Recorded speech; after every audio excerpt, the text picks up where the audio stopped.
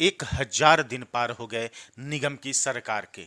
और निगम की सरकार के तमाम उन हिस्सों से जब हम सवालात लेकर पहुँचे हैं, साहब, उपलब्धियों भरे दिन किस दिशा में हम देखें?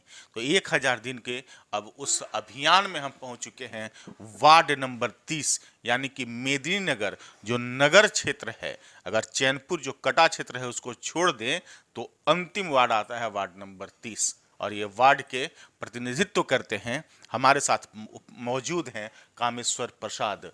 कामेश्वर जी, एक हज़ार दिन पूरे हो चुके हैं। तकरीबन 28 अप्रैल तक तीन साल पूरे हो जाएँगे। कैसा रहा ये एक हज़ार दिन? और कितना लगता है कि जनता ने जो आप पर विश्वास जताया, उस विश्वास पर आप खरा उतर रहे हैं? ऐसा है कि नगर निगम होने से ईश्वर बना गया है। नगर परिषद था, उस समय अच्छा था। नगर निगम होने से सफाइया व्यवस्था, सफ़ाई उफाई, नाला नाली कुछ नहीं, सफ़ाई हुआ। और नगर परिषद था, जनता के इतना काम किए थे, हम, कि दोबारा भी हम जीते के आए। और नगर निगम होने से सफैया उफैया के बारे में कोई व्यवस्था नहीं है। क्यों आखिरकार ऐसा हो गया? पहले क्या अंतर था? आज क्या अंतर है? पहले अंतर था कि हमारे वार्ड में लगभग पाँच गो स्टाफ थे, न सुपर। अब एक गो स्टाफ है, हम कैसे साफ़ करवा सकते हैं? बड़ा बड़ा नाला भरा हुआ है समूचा शिकायत आता है वहाँ से। जनता लोग फ़ोन करते हैं, हम फ़ोन तो काट देते हैं, क्या करें? मजबूरी हम क्या, हम खुद साफ़ करना है? हम छोड़ दिए, हम मोहल्लों भी ज़्यादा छोड़ दिए। क्या करें? ये पहली बार बातें आ रही है। कि एक पार्षद मोहल्ला छोड़ दिए इस डर से कि कहीं ना कहीं साफ़ सफ़ाई आप कैसे कराएँ जब आप उनके पास व्यवस्था ही नहीं है। आखिरकार बहाली तो हुई है काफ़ी संख्या में सफ़ाई जितना नगर निगम में अथी था अथी कर्मचारी लोग भी पुराना हो गए थे उसको तो अथी हो गए। और बाद नया बहाली एक भी नहीं हुआ है। लेडीज़ लोग हुआ है लेडीज़ लोग क्या करेंगे? एक बताइए हमारा सुपर था पाँच गो एक सुपर हम क्या कर सकते हैं?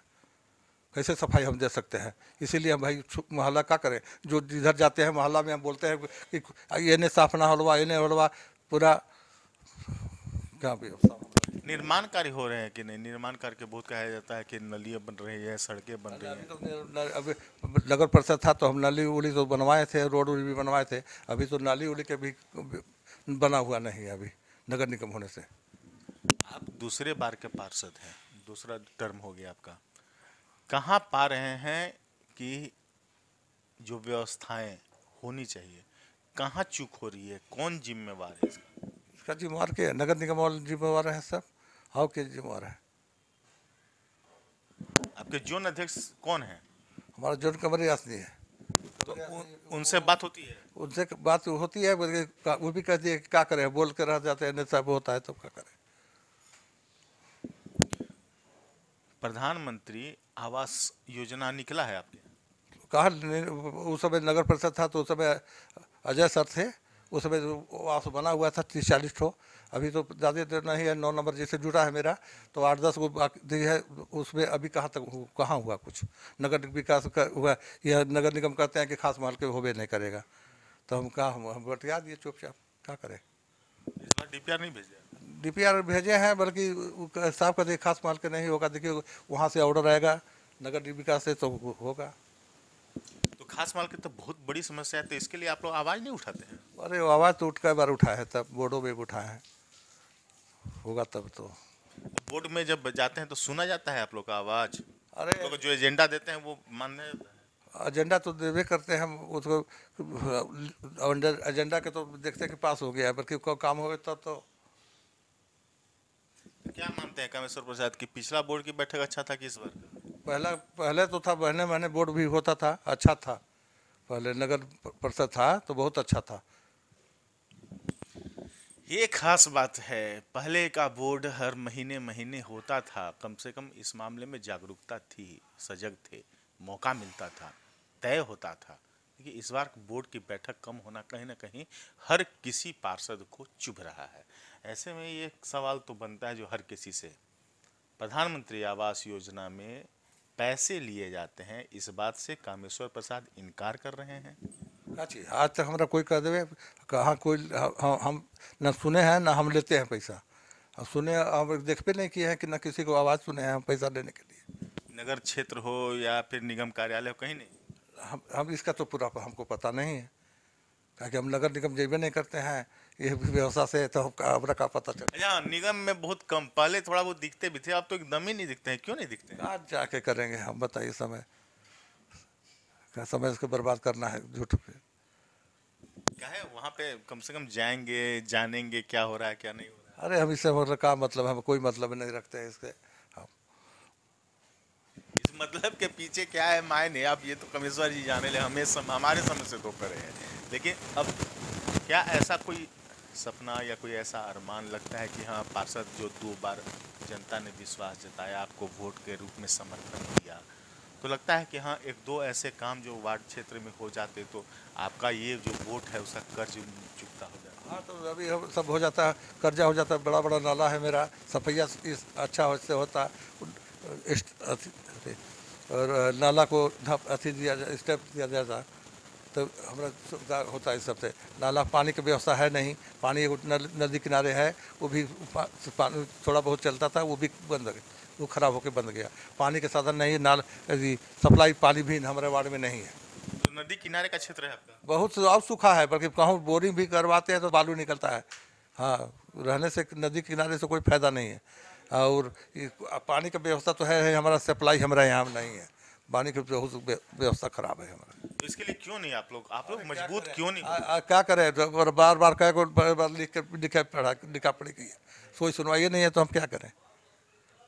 हमारा काम है यही ना लिखा पढ़ी करना। हमारा तो ताकत नहीं कि अपने से बनवा दें हम। कभी मेयर डिप्टी मेयर से मिलकर के आ- आ- आवेदन नहीं दिए? कभी नहीं कहे? आवेदन दिया है। आवेदन हम दिखा दे रहे हैं आपका। लिखा हुआ कई गो ठो मेयर डिप्टी मेयर नहीं मिल मुलाकात करते हैं। तो मिल मुलाकात की है कहा नहीं? करते हैं हो जाएगा हो जाएगा सब हो जाएगा। तो ऐसे भी चुनाव में आप लोग तभी कर देते हैं कि हो जाएगा हो जाएगा जिस जिस प्रकार अभी अगर महला थी हुआ है अगली बार तो हम लड़ेंगे नहीं। इलेक्शन क्या करेंगे। जनता को हम कहाँ से सुविधा दे सकते हैं सब चीज़? मतलब जनता को आप नहीं कर पा रहे इसलिए आप चुनाव नहीं लड़ेंगे। नहीं हाँ जनता पर हम जीत गए। आज जनता की कृपा से हम लोग घर में आप, आपको मालूम होगा कई गो प्रतिनिधि हैं। हाँ इसलिए भैया अब अपना इज़्ज़त बचाना है तो अब लड़वा नहीं कोई नहीं लड़ेंगे इलेक्शन। जनता के साथ अब कितने धोखा करें? ये चुनावी प्रक्रिया जो है राजनीति इससे अब कहीं ना कहीं कामेश्वर बैठा के कामेश्वर प्रसाद जी के क्षमा करेंगे कामेश्वर प्रसाद जी के बातों से कहीं ना कहीं इस बात का आभास है कि अब जनता को हम क्या कहें, कैसे कहें, जब निगम की सरकार काम नहीं कर रही है। तो निगम की सरकार के हिस्से हैं आप। आपको लगता है, आप अगर, ठीक है, चुनाव नहीं लड़ेंगे, लेकिन सलाह तो देना चाहेंगे कि हाँ ये काम होना चाहिए, इस तरीके से काम होना चाहिए बोर्ड के समय पर बैठक होनी चाहिए। ये तो समय बोले बोले भी है, कि समय पर समय, महीना महीना बोर्ड बोर्ड का बैठक होना चाहिए। बोलबे किए हैं, बोर्ड में भी बोला, बोले हैं। और कोई सलाह जनप्रतिनिधि जो अपने साथी वार्ड पार्षद हैं उनको? हाँ देखिए हम तो जेबे नहीं करते हैं ना हम किसी से बोला उतना मुलाकात सीधे साधे सज्जन कामेश्वर जी के मन में जो भी हो कह नहीं पाते हैं लेकिन कहीं ना कहीं इनकी बातों में कुछ खास है। जनता के साथ धोखा नहीं होना चाहिए और इसलिए इन्होंने अब घोषणा भी कर रखा है कि अब से हम चुनाव नहीं लड़ेंगे। ऐसे में आने वाले वक्त में अगर जनता अगर कहती है तो चुनाव लड़ेंगे या नहीं, ये तो भविष्य के गर्भ में है। लेकिन इतना तो तय है कि कहीं ना कहीं पार्षद कुंठित महसूस कर रहे हैं निगम के सरकार के हिस्से होकर के भी। इन अनछुए पहलुओं को हम आप तक साझा करते रहेंगे। देखते रहिए सिर्फ़ और सिर्फ़ कैपिटल न्यूज़। तनु नागरी के साथ, एपी लकी मेदनी नगर